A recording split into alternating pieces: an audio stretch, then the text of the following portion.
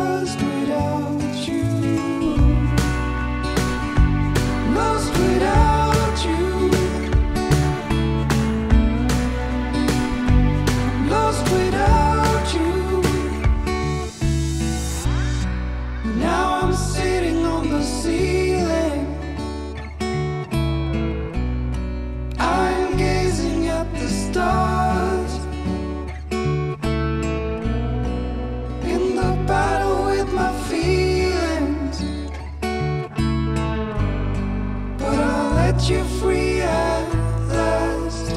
Take what you need. Take what you need to heal. Go when you go. Take what you